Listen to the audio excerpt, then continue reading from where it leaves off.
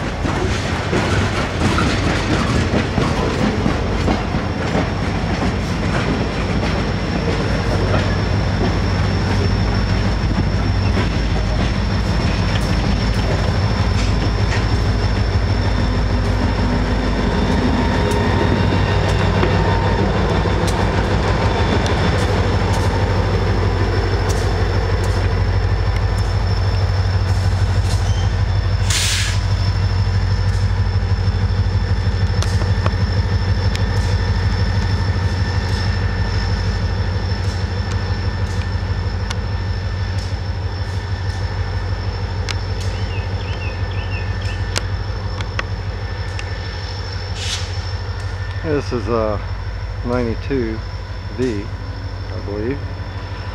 And he's backing up uh, west, eventually heading to Radford. Picking up old scrap metal cross ties and such.